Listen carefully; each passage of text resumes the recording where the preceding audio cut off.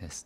Good morning, everybody, and welcome to the church that meets here at Pasir Panjang, uh, or rather Grand Copthorne Waterfront. Uh, it's really good to see everyone today and uh, to also see smiles. yeah, all right. And uh, for those of us who still prefer to wear a mask, no problem. It's totally fine. Yeah, we understand. Yeah, so if you are visiting with us today, welcome once again to all of you. Um, I'd like to start with a little memory that, um, that I had while I was preparing for this message.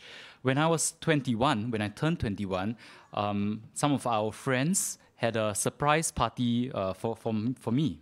It was at uh, Uncle Buchai and Auntie Rosie's home. We were having a youth leaders retreat, uh, sorry, not retreat, meeting upstairs. And um, the prayer went on longer than uh, than I expected. I was wondering, wow, hmm, okay, today we are very deep into prayer, all right. When I came down the staircase, there was a loud surprise, and there were a lot of people uh, down there with food and um, no, no, no gifts, but food and their presence. That's the gift to me, yeah. And I remember that very clearly because, um, well, you know, 21st birthday and all that. Uh, and on top of that, the food was really special. Yeah, uh, my mom, I remember, got for me uh, my favorite beef rendang cooked by her colleague and uh, bergedel. I love mus- uh, Malay food. Yeah, and uh, she also baked her, I think, apple apple pie for me. Yeah, uh, her famous apple pie. The food was really good. Uh, I don't eat so much of that kind of food nowadays because dad bought, you know. But well, um, that is something that really stays firmly etched in my memory. The food was good, but the company was even better. And the coming together uh, of my family and my close friends was something that I really treasure. So today we're going to look at what it means to come together to a table, to come together and eat and feast together as well. But before that, let's uh, rewind a little bit. We've been on a series that traces the pattern of the kingdom throughout the Gospel of Matthew. And two weeks ago, our brother Kyle uh, brought us through how the kingdom is bigger than we may think. It stretched all the way back to the garden where God created the first king and queen, Adam and Eve, to rule over all creation. And it will take its final form in the, at the end of time in the Revelation. Last week, we looked at Matthew 5 and looked at how the kingdom of God is actually an upside down kingdom. It may not be what we think. It is a kingdom not ruled by class or power or a social hierarchy. It is a kingdom not where uh, might was right, as if as in the Roman world. It is not a world where winners will laugh at losers. It is a world that will be made right, not through might or power, but through meekness, through mercy, through peace, and through purity of heart. And so today we're going to move a few chapters down to Matthew 8. In Matthew 8, uh, we will look at how Jesus brings the kingdom of God to an unexpected person, a Roman of all people, their sworn enemies. All right? So before we jump right in, let's take a look at uh, some uh, super macro kind of uh, context. So last week we looked at the Sermon on the Mount, right?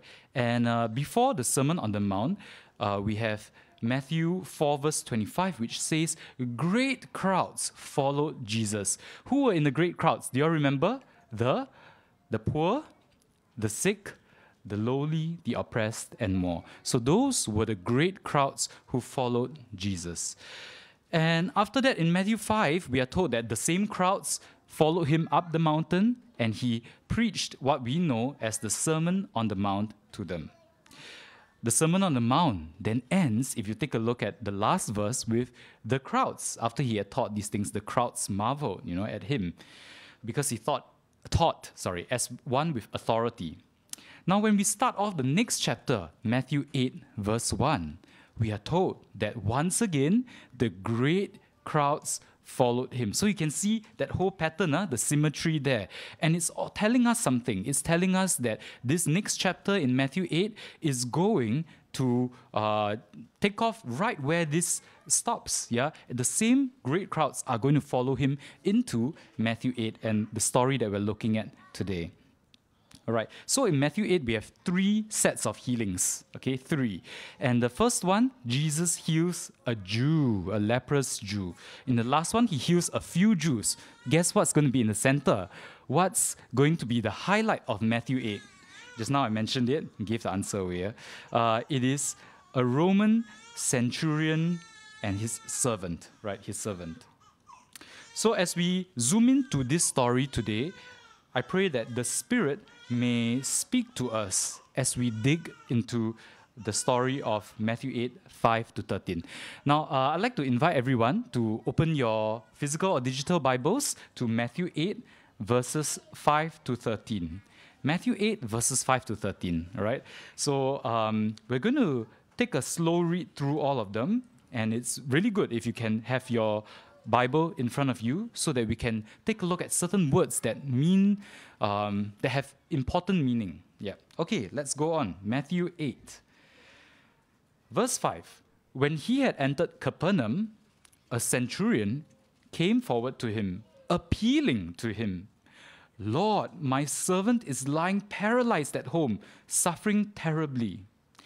So here we have a Roman centurion. Okay, he's a Roman soldier.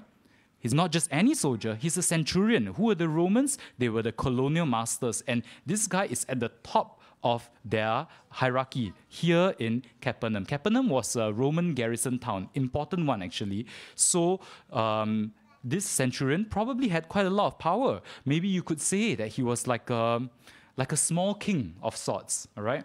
But here comes this guy, and what's he doing?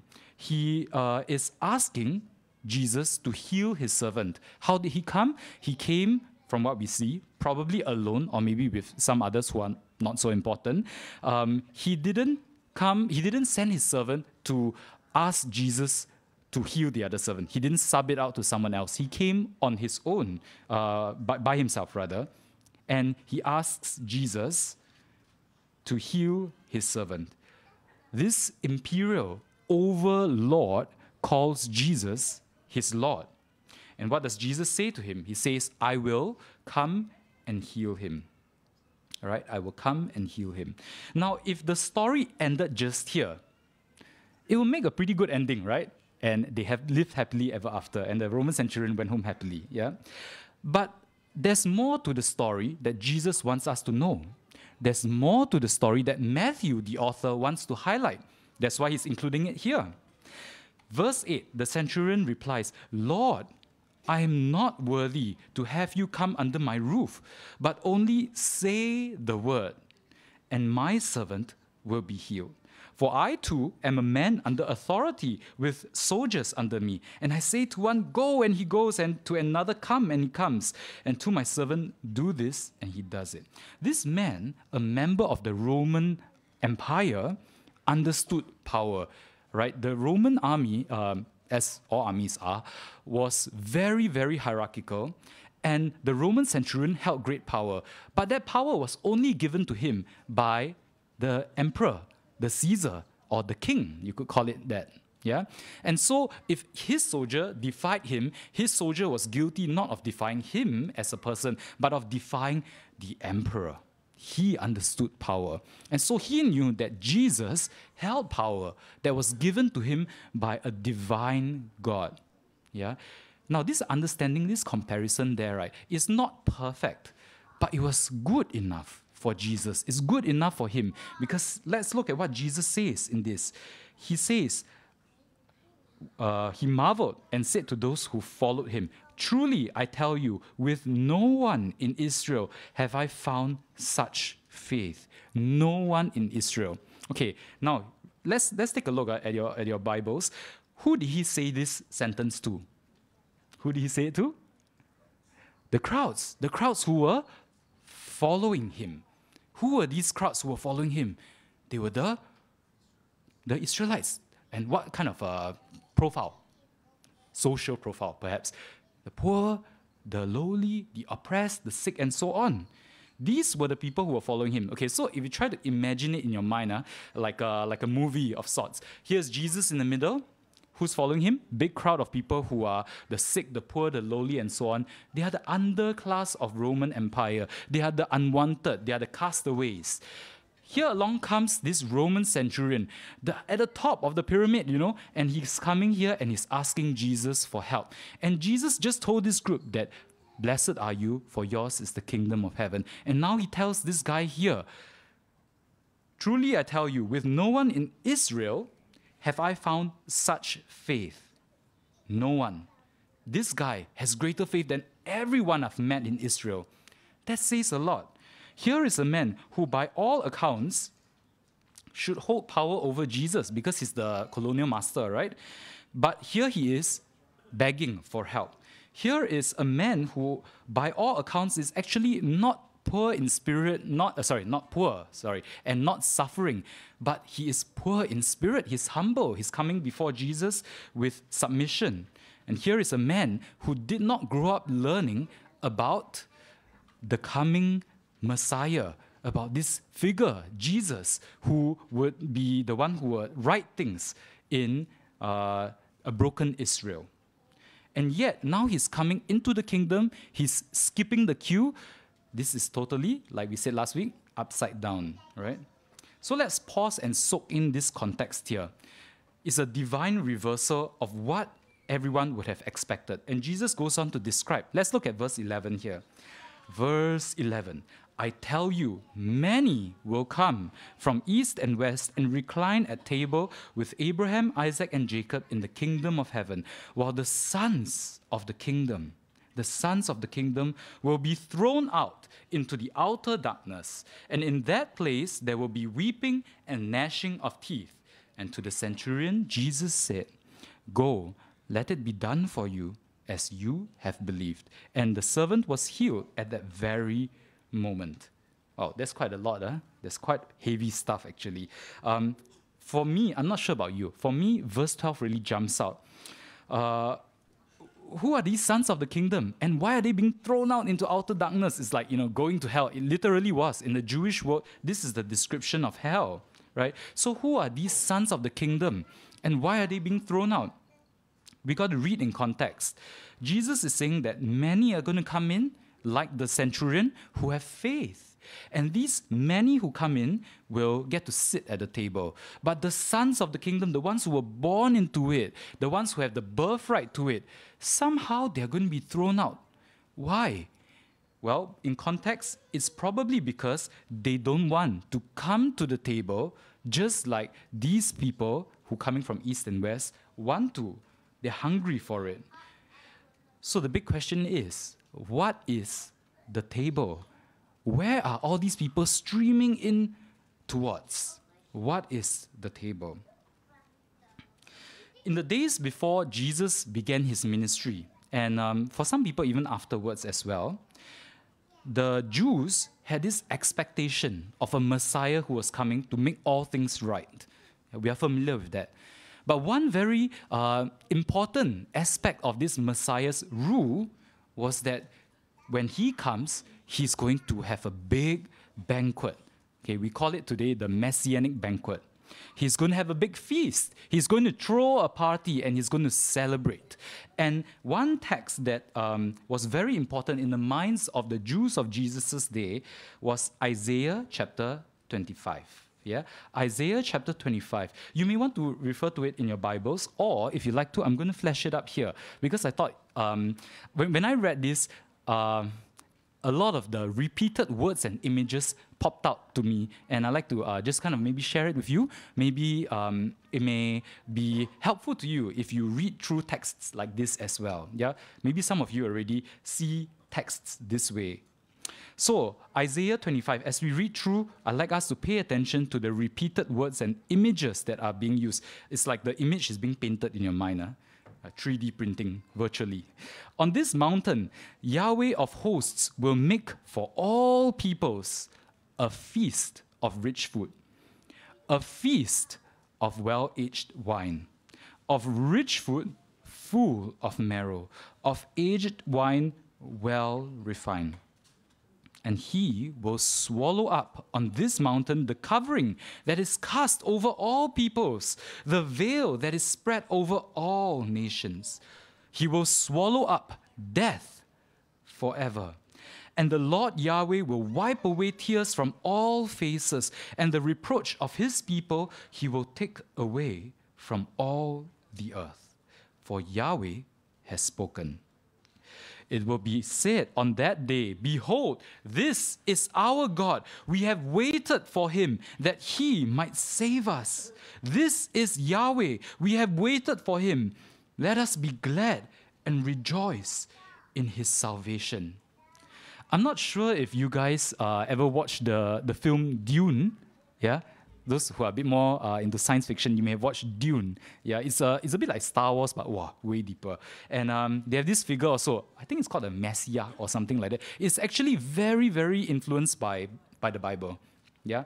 and um, are, it paints a very interesting picture of all the uh, people waiting, standing, camping outside the gate just to get a glimpse of whom they, uh, the equivalent of the Messiah. Yeah, it's science fiction, yeah, but it's very interesting as they paint such a picture. Okay, so what do you see when you read through this passage? Just now, our brother Kyle also read through uh, this passage, and uh, I wonder if you start to see the repetitions. Yeah, in this passage of scripture, we see how Yahweh is going to lay a feast of rich food and a feast of well aged wine. Abundance, yeah? It's really gao gao, okay? Very good stuff, the best of the best. Last time my dad liked to say, the best, the boost, the bust. I don't know what that means until today. Yeah, okay, the feast, that's the best of the best, all right? And who is it for? It's for all peoples, it's for all nations, it's for all faces, all the earth. It's for all. Okay? What's going to happen as he lays this feast? He is going to save people from something. He's going to swallow up the covering and the veil. What veil do you think of when you when you see this in the Old Testament? What's the most pop, uh, not popular, common uh, or significant, significant veil in the Old Testament. Maybe the veil that separated the Holy of Holies from the rest of the temple or the rest of humanity. And what's behind the Holy of Holies? The presence of God, life, life, true life from non life or life from death. He's going to swallow it up. There will be no more veil, and life will spread everywhere. That's the picture I get there, yeah? He's going to swallow up death. He's going to wipe away tears. He's going to take away the reproach of people so that he might save them, rescue them. Salvation, saving, right? And this is why they are so eagerly waiting for him. This is the picture that Isaiah 25 paints. And when Yahweh comes again, when the Messiah comes again, he is going to throw this big party for all peoples, right? For all peoples. This is the sort of um, world that the Jews of Jesus' day grew up with. They were expecting somebody to come. And, and this is the kind of uh, image that Jesus is tapping into when he talks about a table with Abraham, Isaac, and Jacob in the kingdom of God. It's going to be a feast for all peoples. But what kind of all peoples? Is it all peoples here or all peoples out there? And that's a question that we still ask today, right? Who is the kingdom of God for?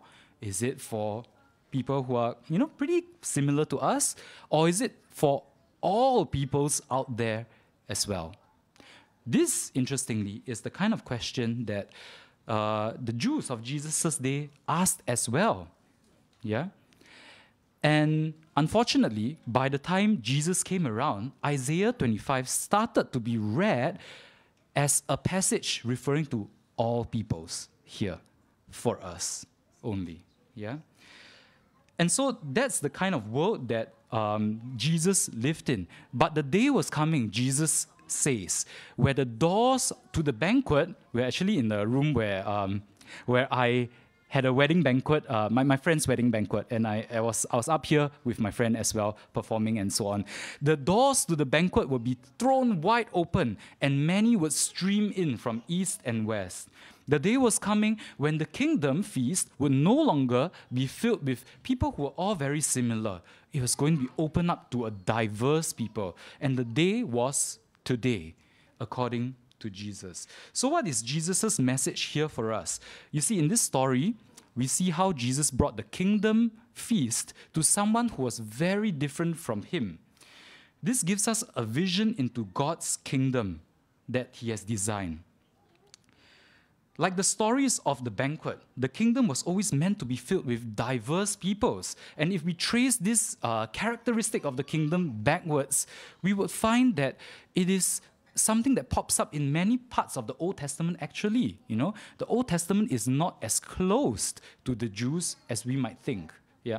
If you go back to somewhere like uh, the Tower of Babel, yeah, we would find that God was very angry with the people then.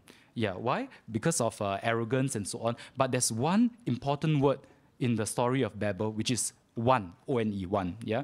And that symbolizes how the people at Babel wanted to unify uh, the diverse peoples of God into one people, all right? Or sound like National Day song. But yeah, one single people, one language, one objective, and so on. And that went against the diverse creation that God had in mind. And that's what happened, scattered, right? After that. Yeah? And if you go back even further to the garden story, we see how the image of God was split into how many?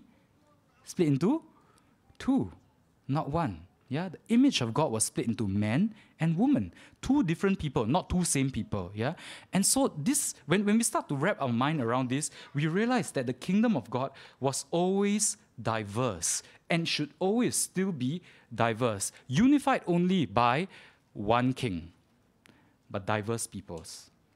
So, how does this inform uh, us? You know, when we talk about church today, when we talk about kingdom today, how does this shape our understanding of what PP, our church family here, should look like? From where I am here, I'm very glad to say that I already see a lot of diversity here, but I believe that there is yet a deeper calling. Yeah? In fact, I can, I can see two callings that we have from this passage. The first that I hear in this passage is a call to come to the table. You know, growing up here in PP, I always thought that this is what churches were like. Uh, I remember that um, when I was in my youth, actually even before, um, we used to hang out after service, chit chat in lobby, um, and and we used to go out for lunches. And as a kid and teenager, even an adult, I used to go over to each other's uh, other people's homes as well. I thought this was common. But as I grew older and I traveled to other churches, visited elsewhere, I realized that uh, what we had was something very special and um, actually not very common. Yeah. This is who we are in PP. We are people of the table. We are people who love to eat together, of course, but also people who love to come together to share life together as one family of Jesus. And this is something unfortunately, that uh, I think over the last two plus years, with restrictions in the pandemic, it has kind of tempered that. I'm sure you feel it, yeah? But today, as things are lightening up, I believe that there is a call here for us. Because if we look back to how the last two years were, I think when um, we started to have more restrictions imposed on us. Can't really eat together, can't really go out together, at one can't really see each other's faces and so on. We tried to pivot a bit more to um, delivering good lessons online, yeah, live stream and so on. But I believe the church experience is so much more than information. It's got to be so much more than information dispensing. You know, like you take your sanitizer, come out a sermon, and then you learn a lot for that Sunday. It's got to be more than that, right? The early church experience was not marked by a series of lectures. It was not marked by a webinar where participants don't even interact with each other. The early church experience was marked by the breaking of bread, coming together, by sharing of life, hey, they even shared their possessions with each other. And so, if we as a church say we want to be like the early church, we got to live up to it. this is something that God is calling us to in this passage. And so it's been really encouraging over the last uh, few weeks. Actually, last few weeks have been very busy for our church. Huh?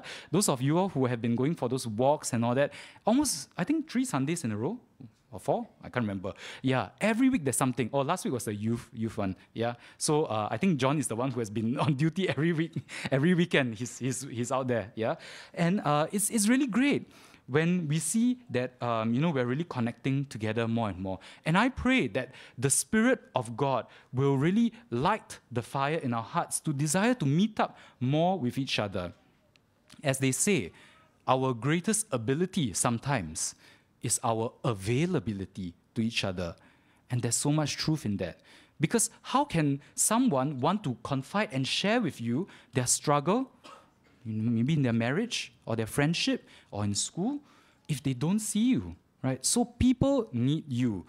And I also want to add on by sharing um, or maybe uh, bringing up once again the story that my, my own story. Do you remember what I shared one month ago? What really made me think a lot about how important I wanted God to be in my life it was when we first came to PP as I was a when I was a child, five years old, and I started to think, wow, this church has a lot of uncles and aunties who come here on Sunday morning. This must mean something important to them. After that, I started realizing, hey, my friends are coming here on Sunday morning. In school, they talk about, oh, Sunday morning there's Pokemon, you know, gotta catch them all, watch the show. And here we are in Bible class at the, at the exact time, 9.30, you know. And uh, I was, it made me think, it did something to me back then, although I didn't know it. It made me realize that this body was something important. God was someone who was important, and we are all here for each other. And so, if I have been to your home before, if I have come to your table before, just as I shared in the earlier story, um, I believe that you have done something to encourage me to be where I am today. And so, as we come together and share meals together, share our lives together, I think that we need to realize the, that something special is happening in each of us. The Spirit is laying seeds and working in our hearts in a way that we may not see until uh, 30 years later. Actually, now when I came, I was five, right now I'm 34. Nearly 30 years later, you know, that this thing bore its fruit.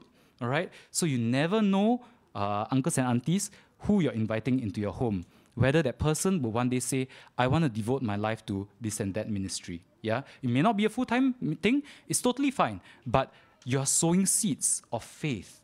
You're doing something to the little boy or girl who's coming into your home. Yeah? The second um, message that I hear from this passage here is really to invite others who are not like you to come to the table. Jesus invited someone totally different from him, a Roman centurion, a man of war. You don't associate Jesus with that, do you? If the kingdom feast is a banquet open for all peoples, diverse peoples, it challenges me to ask myself how often I come to the table with someone who is different from me. You know, some time ago, uh, the ceiling fans in our home started slowing down dramatically. It was quite bad. I even went to test and I look at how fast it's spinning. And then I go to my sister's house and her minimum speed is like my maximum speed. It's very terrible. Don't buy um, Crestar brand. buy KDK. I bought the one uh, from the coffee shop. That one never slow down one. Okay, that's the best. KDK. Yeah. Also, also quite affordable. Yeah. So anyway, we got uh, an electrician in to change the fans. Okay, and uh, there were seven because we love ceiling fans. So seven in our home, and. Uh, yeah, it's a lot, right? And for those who are not so aware, um, in in you know construction, renovation, and all that, usually there is some sort of an invisible line uh, between homeowners and the the guys whom you you uh, engage to come in to to help you with your maintenance and so on. It's almost like some sort of unspoken expectation that they should be like invisible in a way. All right. Uh, we never really got that, still don't get it. So one day when the electrician came in, uh, his work past cross the lunchtime because there were so many fans. So um, Xing Tian got uh, chicken rice, and then um, we said, "Hey, it's time for lunch." 吃饭了. Okay, so he said, "Yeah, okay." And then she laid our table for three of us. And um, when he saw that, he was quite shocked. He said, "Uh, 这样吃啊?" Then I said, uh, yeah, yeah, yeah, yeah. And then he was like, uh, 真的, really, uh, really. Okay, uh, sorry, uh, that meant, uh, uh, are we going to eat like that? And uh, really, really, yeah. So he was very uncomfortable actually, uh, but we kind of just insisted that he ate there with us because we wanted to chat with him. And uh, as we ate uh, and chatted, we began to know more about his story, how he grew up and so on. And today, um, thankfully, when we engaged him again, he said, uh, 你们算是朋友. Yeah, he, he regards us as his friends. We've also had quite a few uh, deep conversations about our life choices because he was very interested in why we choose to live the way that we do. So, so that was our experience our close experience with someone who was who comes from a very different background from us, look different, grew up different, speak different, everything different. And I'm sure you guys have your own experiences. In fact, I know for fact that many of us here have a special heart for people who are not like us, and, and you are very skilled at inviting them to the table. Just come and take a look, yeah? And I want to uh, affirm that and I want to say that our church family needs you to continue to invite people to the table as well. But remember, one very important point from this story it is not only about welcoming those who are beneath you to the table, all right? And I must say this very clearly because that may seem compassionate, but actually, that's not the point of Jesus' ministry. If you look at what happened in the story, who was the Roman? He was many rungs above Jesus in the social ladder, right? But Jesus invited him. Who were the people whom Jesus will be wining and dining with? Tax collectors, prostitutes.